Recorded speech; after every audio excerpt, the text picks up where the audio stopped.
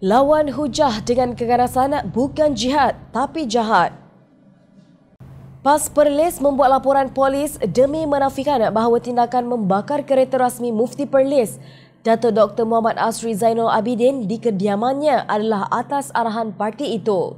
Pesuruhjaya PAS Perlis Muhammad Syukri Ramli berkata, pihaknya berharap orang awam tidak membuat tuduhan sembarangan terhadap parti itu berhubung isu berkenaan. Kereta Mufti Perlis itu didapati dibakar pada Mac lepas. Bukan kerja PAS, jangan tuduh-tuduh. Jika individu yang buat itu ahli PAS, bukannya bermakna PAS yang melakukan perbuatan itu. Salah seorang nama itu memang ahli PAS tetapi dia baru dituduh bukan betul lagi.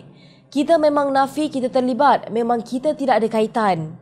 Jadi kita buat laporan polis untuk nafi dakwaan itu dan minta siasatan terhadap individu tular kenyataan itu katanya di petik sinar harian. Beberapa hantaran telah tular di laman sosial Facebook mendakwa anggota Jabatan Amal PAS terbabit dalam kejadian berkenaan. Terdahulu, Sinar Harian melaporkan polis menahan seorang lelaki dipercayai terbabit dengan kejadian bakar kereta Mufti Perlis itu. Tangkapan dibuat sepasukan polis dari Jabatan Siasatan Jenayah JSJ, Ibu Pejabat Polis Kontijen Perlis di sebuah rumah di Kampung Jelempok. Ketua Polis Perlis, Senior Assistant Commissioner Nur Mushar Muhammad berkata, sebuah telefon bimbit jenis Nokia telah dirampas daripada suspek berusia 36 tahun. Menurut beliau, semakan polis mendapati suspek memiliki beberapa rekod lampau bersabit kes jenayah dan dadah.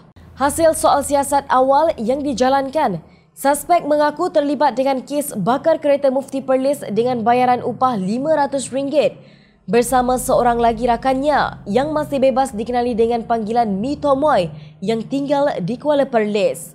Suspek dipercayai diupah oleh seorang lelaki berusia 33 tahun, katanya. Beliau berkata hasil pendedahan suspek terdapat lima orang lagi dipercayai terlibat dengan kes ini masih bebas dan tiga orang telah dikenal pasti.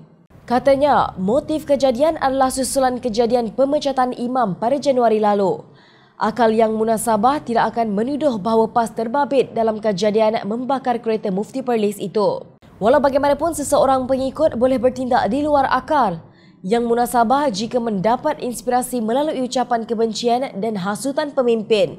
Ia tidak perlu arahan secara langsung. Dalam hantaran di Facebooknya, Asri berkata, hujah hendaklah dilawan dengan hujah, bukan dengan menggunakan keganasan seperti memusnahkan hartanya atau mencederakannya. Hujah lawan hujah, bukan hujah dilawan dengan keganasan, katanya. Beliau juga menegaskan perbezaan pendapat bukan semestinya menentang Islam.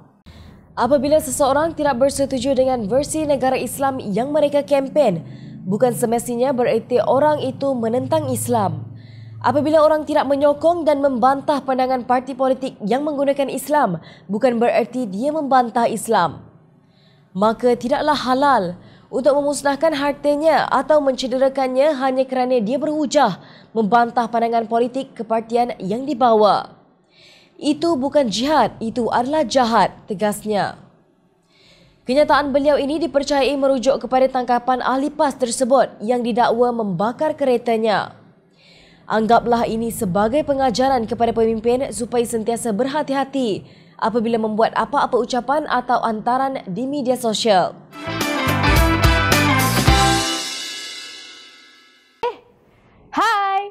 Jangan lupa klik kanan untuk rentasan berita, klik kiri untuk keratan berita dan jangan lupa untuk subscribe kami tahu.